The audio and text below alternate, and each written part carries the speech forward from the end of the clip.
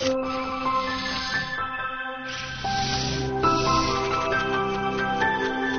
下来为您播出《法律讲堂》文史版。一九零九年十月二十六日，哈尔滨火车站的几声枪响震惊世界。日本元老级重臣伊藤博文在众目睽睽之下遇刺身亡。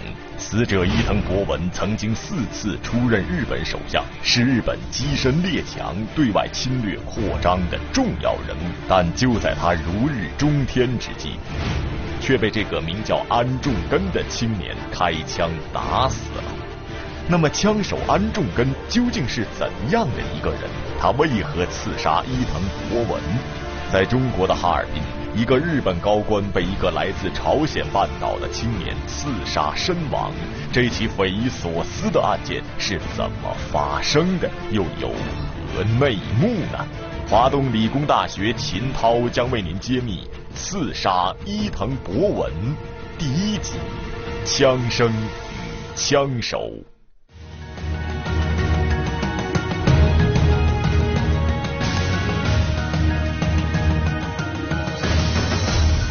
观众朋友们，大家好，欢迎收看法律讲堂。从今天开始啊，我将为大家介绍一起发生在百年前的惊世大案——安重根刺杀伊藤博文案。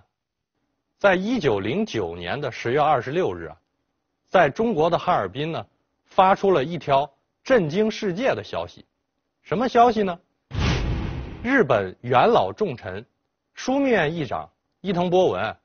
在哈尔滨火车站遇刺身亡，杀手啊是一名韩国人，他就隐蔽在啊欢迎人群之中。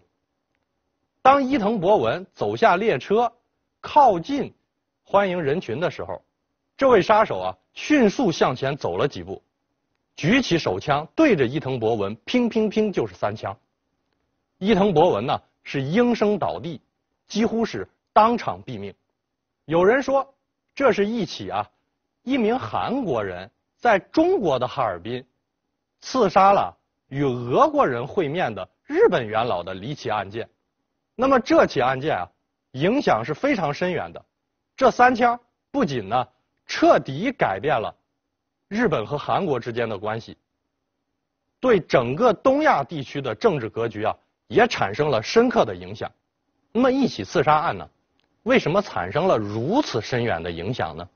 这原因并不复杂，因为啊，被杀的人呢是日本的伊藤博文。说起伊藤博文这个人呢，中国的观众朋友们对这位政治人物可并不陌生。早年间他参加倒幕运动，后来呢他又参与制定日本宪法，被称为啊日本明治宪法之父。日本呢成为一个君主立宪国家之后啊。这个伊藤博文呢，不仅是日本第一任首相，而且啊，他四次担任首相。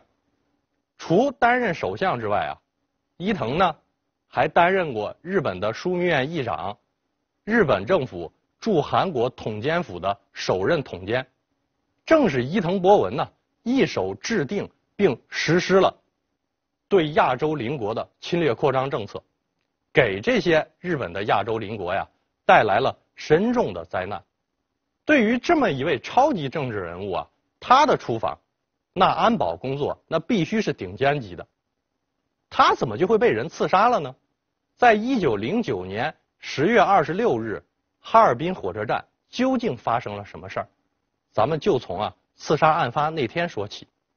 一九零九年的十月二十六日早晨，原本应该熙熙攘攘的哈尔滨火车站，变得有些冷清。实际控制哈尔滨的俄国当局啊，派出大批的军警，在哈尔滨火车站附近警戒。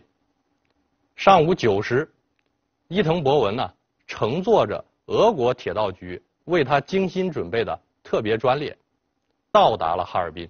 俄国当局啊，他们呢在哈尔滨火车站的月台上组织了大批的人员呢迎接伊藤博文。都有谁呢？有沙皇尼古拉二世的特使。俄国财政大臣科可夫切夫，还有啊，各国驻哈尔滨的官员，还有大批的日本侨民。凭着伊藤博文的身份地位啊，就是再多些人来迎接他，也不算稀奇。为什么这么说呀？第一啊，是因为日本当时啊是一个强国，甲午战争中啊击败了当时称为东亚最强国家的清国，成为了东亚的强国。那么在一九零五年的时候呢，又通过日俄战争击败了成为列强中的强国的俄国。从此呢，日本呢一跃之间，他就成为列强中的一员。而伊藤博文呢，在一九零九年的时候，正是明治政府啊九大元老中的排名第一位的元老，深得明治天皇的信任，是名副其实的日本政坛第一元老。对着这么一位大国的资深政治家呀，即使是一向高傲的俄国当局啊，也不敢怠慢他。这不。火车呀，刚刚停稳，俄国沙皇尼古拉二世的特使、财政大臣科可夫切夫啊，快步登上火车，亲自啊到车厢里面去啊迎接伊藤博文。二十分钟之后啊，伊藤博文呢在可可夫切夫的陪同之下走下火车。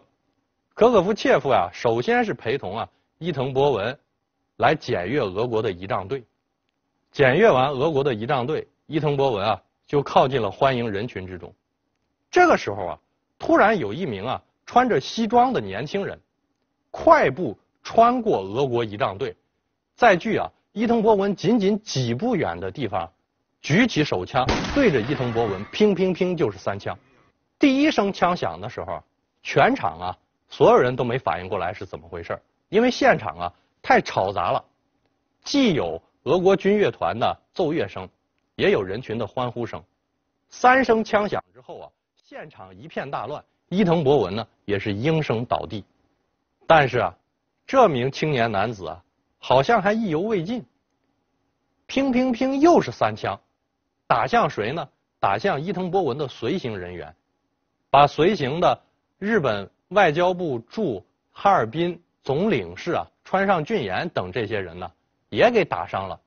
据统计啊，除伊藤博文外，至少还有四名日本高官受伤，也就是几秒钟时间。这个时间呀，也够在场的俄国军警啊反应过来了。他们一拥而上，逮捕了这名年轻人。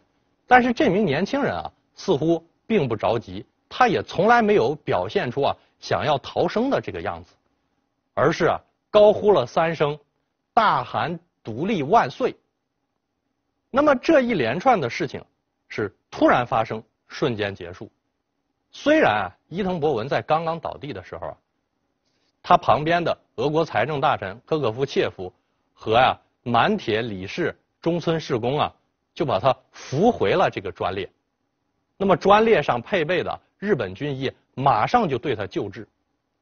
但是啊，回天无力，他受伤太重，他三处受伤，哪三处呢？左肺、腹部和左腰，伊藤博文呢几乎是当场毙命。伊藤博文在众目睽睽之下遇刺身亡，消息一出，舆论哗然。凶手是谁？有什么背景？他为什么能在戒备森严的哈尔滨火车站成功射杀伊藤博文？这起事件在国际社会，特别在亚洲国家，又将掀起怎样的轩然大波？那么，对于这样一起刺杀事件，必然是引发全世界的广泛关注的。但是，有四个国家呀，是这个案件直接相关的国家。哪四个国家呢？日本、俄国、韩国和中国。这四国啊，反应各不相同。首先，对于日本而言呀，他是气急败坏。毕竟啊，被杀的是日本的资深政治家。咱们先说说日本。他呀向俄国提了很多要求。第一条啊，俄国方面你必须把这个案件的司法管辖权你移交给日本，这个案件你不能管。但是呢，毕竟我们说哈尔滨是俄国的实际控制区，那么日本呢要求俄国全力配合。然后啊，就是嘱咐在场的日本官员，赶紧啊把伊藤博文的尸体啊运回国内。要给他举行国葬啊！那么对于俄国而言，他是理亏的一方，你安保工作做的不好啊，导致出现这么严重的一个政治事件。俄国方面呢，基本上是完全答应了日本的要求，全力配合侦破案件，并把司法管辖权呀交给日本。那对于中国和韩国而言呀，这两个国家是饱受日本侵略，都把伊藤博文呢视为侵略的元凶。韩国呢属于是偷着乐型的，为什么偷着乐呢？因为韩国呀，它已经被日本呢实际控制住了，所以它的官方啊只能表示哀悼，啊民间呢肯定啊爱国人士是欢欣鼓舞的。对于中国而言呢，我们饱受日本欺凌，于是啊中国近代的一些名人呢纷纷呢为这位抗日义士题字，其中呢国学大师章太炎怎么评价这位义士呢？说他是亚洲第一义侠。远在日本的梁启超呢，也为这位啊义侠专门的做了一首《秋风断藤曲》。孙中山先生、袁世凯等当时代的名人呢，都纷纷为他题词写诗。对伊藤博文遇刺身亡事件，当时的日本政府称枪手安重根为罪犯，但日本的邻国却奉安重根为英雄和义侠。为什么会形成如此强烈的反差？刺杀伊藤博文的安重根究竟是什么人？他又为何在现场反复高呼、大喊“独立”的口号呢？华东理工大学秦涛继续为您揭秘刺杀伊藤博文第一集：枪声与枪手。那么，我们啊，就来详细讲一讲这位刺杀伊藤博文的抗日义士，他到底是谁？他的人生经历又是怎样的？这名抗日义士啊，名叫安重根，他1879年啊，出生在朝鲜王国黄海道海州的一个两班家庭。那什么叫个两班家庭呢？咱们知道，中国古代啊，这个官员上朝，皇帝是居中高坐的，然后文官在东边，武将在西边。这个文武官员呀，他也不是一个人，他要排成一个队列。这个队列就叫做班。朝鲜王朝啊，它也是一样的，贵族官员的家庭啊，它才叫两班家庭。那么安重根他是一个什么样的两班家庭呢？他的祖父啊叫安仁寿，是朝鲜王国啊镇海县的县监。这个县监是个什么官啊？在朝鲜王国呀，大县的长官叫县令，小县的长官叫县监，是从六品。安重根的父亲呢叫安太勋，他呀是一名进士。安重根呢，他是家里面的。三子一女里面的长子，他出生的时候啊，胸腹上有七颗痣，哎，所以呢，长辈根据这个生理特征啊，给他起名啊叫安英七，应该的应，一二三四五六七的七。后来啊，他父亲呢，看他稍微长大以后啊，有点淘气，这个孩子一淘气啊，有一些浮躁之气，他父亲呢就希望。他能像大树一样啊，沉稳端重，哎，沉下来，就给他改名啊，叫安重根。那个英七呢，则一作是他的字。所以啊，安重根这个名字，他的字呢是英七。安重根本人呢，毕竟是两班家族的长男，他的父亲啊非常重视他的教育，不仅呢送他去私塾学习，作为进士啊。还亲自辅导儿子功课，安太勋呢，显然是希望自己的这样一个长子啊，能够继承自己的衣钵，哎，学而优则仕，来光宗耀祖。这个安重根呢，说实话，他书是没少读，但是他不太认同啊，他父亲这样一种学而优则仕这样一种想法。他有什么想法呢？他在读书之余啊，经常上山打猎。在这个山区啊，当一个猎户啊，很不容易，需要强健的身体，枪法也得非常好。那么有人就跟安重根说呀，说你父亲呢，以文章俊秀闻名天下，说你成天和一帮猎户混在一起骑马打猎，这实在是不务正业。安重根怎么说？我的榜样啊是楚霸王项羽。那么项羽说啊，念书只不过是为了。能写出自己的姓名。我不指望自己啊，通过读书啊、考科举功名啊来流芳百世。我呀，要像项羽一样，做个真正的大丈夫男子汉。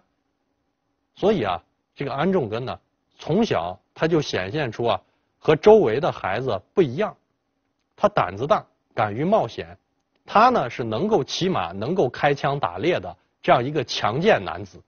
从这个角度看呢，安重根呢算是一位能文能武、有一定见识，而且身体强壮的这么一个优秀青年。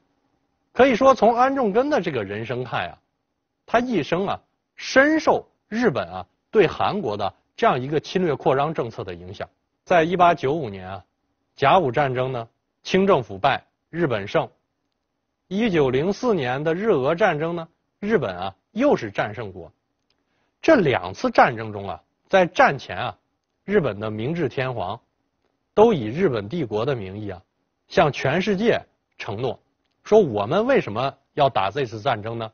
一个啊，我们是要维护世界和平，维护亚洲和平。其中很重要的一点呢，因为这两次战争呢，多多少少啊和朝鲜王朝都有关系。哎，我打这两次战争啊，是要保护这个朝鲜的独立的。那么事实是怎么样的呢？他们啊，总是前脚取得了战争的胜利，马上就逼迫呀韩国和日本签订不平等条约。那么俗话说，再一再二难再三，在日俄战争后啊，日本的狼子野心表现出来之后，安重根本人呢？也由此啊，开始由支持日本，因为日本宣称我是保护你朝鲜独立的吗？由这样一个态度呢，变成了反对日本、反抗日本侵略这样一个态度。很快啊，历史啊给了一个安重根啊成名的机会。他呢，不仅仅是一位山中的顽童了，他将成长为啊一名真正的战士。在一九零七年的时候啊。韩国爆发了义兵运动，安重根呢，这个时候啊，就离开了自己的家乡，告别了自己的母亲、妻子、儿女，加入了义兵组织，走上了武装反抗日本殖民统治的这样一个道路。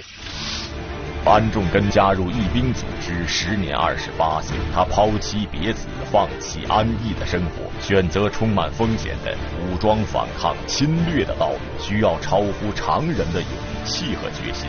安重根争取民族独立、反抗日本殖民统治的过程中，他对伊藤博文这个人的仇恨为什么越来越深，以至于下定决心要刺杀伊藤博文呢？华东理工大学秦涛继续为您揭秘刺杀伊藤博文第一集：枪声与枪手。咱们要说明这个问题啊，得从两个角度看。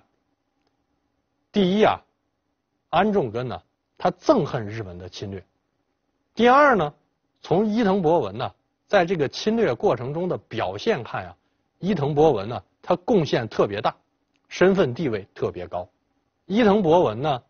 是日本驻韩国统监府的首任统监，在一九零五年啊，日俄战争刚刚结束后啊，日本呢就急急忙忙啊逼迫韩国签订不平等条约，称为啊第二次日韩协约。根据这个协约啊，韩国呢把外交权交给日本，由谁来行使呢？日本驻韩国统监府来行使。所以这个机构啊是个殖民机构。什么时候设立的呢？一九零六年设立的。我们说啊，伊藤博文呢，他刚刚上任呢，就大显身手。先是啊，借着海牙密使事件逼迫国王李希退位。紧接着呢，又再次逼迫呀韩国签订不平等条约，称为第三次日韩协约。经过这两件事啊，安重根呢。实实在在的是恨上了日本，恨上了伊藤博文。那么这两件事是怎么伤害到安重根的呢？咱们先说呀，逼迫韩国国王退位的海牙密使事件，日本设立统监府，韩国丧失外交权。那么作为韩国的实际统治者，李希他当然是不愿意的，他要抗争。他呀听说，在一九零七年，要在荷兰的海牙呀开一个国际和平会议，他呢就秘密的给三名韩国人密诏，让他们去海牙呀反映情况。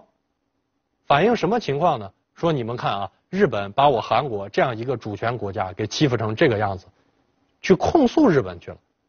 那么我们说，三名密使到了海牙之后啊，马上呢，通过各种渠道找到了荷兰的外交大臣，就把对日本的控告啊，就呈到了荷兰外交大臣手里了。这个荷兰外交大臣呢，又把这份控告呢，就转交到啊。海牙会议上，当时啊，在海牙，日本也有外交官参与。他们一看到这种情况，可想而知，内心啊是非常着急的，赶紧就发电报问问国内怎么办呀？啊，日本政府啊就咨询了伊藤博文，怎么跟海牙方面回复？哎，伊藤博文呢不慌不忙，显示了极高的政治手段。他说呀，没关系，就说。这三个人啊，他到底是不是真的国王密使？他如果不是真的国王密使，他就是个民间人士嘛，那当然就不用搭理他了。那么日本方面的外交人员就跟海洋大会提出这么个意见，说我们对这个事儿没有意见，但是你总得搞搞清楚这三个人是不是真正的官方人士吧？怎么搞清楚呢？你海牙大会啊，跟韩国政府发电报询问一下。你到底派没派这三个密使来呀？大家想想，当时的韩国政府是在谁的控制之下？是在伊藤博文为首的日本驻韩国统监府的控制之下。于是呢，韩国的傀儡政府啊，接到了海牙大会的询问电报之后啊，马上就以国王的名义回了个电报，说从来没有派过密使，他们手里拿到的那个所谓的密诏啊。那个印信呐、签字啊，都是伪造的。海牙大会啊，由此决定驱逐三位密使。那么从这个角度呢，这个韩国的皇帝好像不太听话哟。所以啊，既然你不甘心，你总是要掀出一些波澜来，我干脆啊就把你换掉。于是呢，伊藤博文呢就逼迫韩国的皇帝李希退位。李希退位后，伊藤博文步步紧逼，强迫韩国与日本签订第三次日韩协约，规定韩国的行政、立法、司法、人事等事务都由日本人担任的韩国统监说了算，在当时，也就是由伊藤博文说了算。从此，日本全面接管韩国的军政大权，韩国政府名存实亡，彻底沦为日本的殖民地。那么咱们说啊，日本呢把韩国压迫到这种地步，韩国啊相继失去了外交权、内政权，他怎么不武力反抗呢？他军队呢被解散了，怎么样解散的？伊藤博文呢命令韩国的傀儡政府以纯宗的名义解散了韩国的军队。有人说呀，这简直和笑话一样，哪有自己的国王？解散自己国家的军队的呢？这还真不是说笑话。在一九零七年啊，伊藤博文就命令韩国的傀儡政府，以国王的名义啊下令解散全国的军队。那我们说呢，军人的工作单位啊，它就是军队。单位没有了，当兵的不就失业了吗？从日本和韩国傀儡政府的表现看啊，他们可没有安排啊这些军人再就业。这些军人一方面是养家糊口，另外一方面呢，他们也啊深感国家的屈辱。大家想想，一个国家呀，居然没有自己的军队，那还不是任人摆布、任人宰割吗？于是啊，这些被解散的军队啊，发起暴动，反抗日本的殖民统治。这些军人被称为义兵。韩国的近代史教科书上称这次运动啊，叫做义兵运动。国家遭受的劫难和义兵的奋起反抗，安重根看在眼里，急在心里。他曾经写了自传，取名《安应七历史》。安重根的自传中可以看出，他认为日本在殖民侵略韩国的过程中，伊藤博文这个人起了至关重要的作用，是不容原谅的罪魁祸首。渐渐的，安重根对伊藤博文的仇恨越来越深。走向武装抗日之路后，他甚至还。起了刺杀伊藤博文的念头。看到自己的国家呀被日本人欺凌成这种样子，简直是属于任日本人宰割的状况。具有强烈的民族独立心、爱国心的安重根呢，就在一九零七年呢参加到义兵运动之中，直接啊以武装的形式反抗日本的侵略。安重根啊，对他的战友们说：“各位大哥，你们等着看吧，不出三年时间啊，我一定让伊藤老贼啊死在我的枪口之下。”这个安重根呢，决心是下了，男子汉大丈夫啊，一口唾沫一个钉啊，说话得算数。但是怎么才能实现这个目的呢？他又是怎样躲过日俄两国的保卫人员，完成刺杀行为的呢？他后来的命运又将如何呢？这些问题啊，咱们明天接着讲。感谢大家的收看，再见。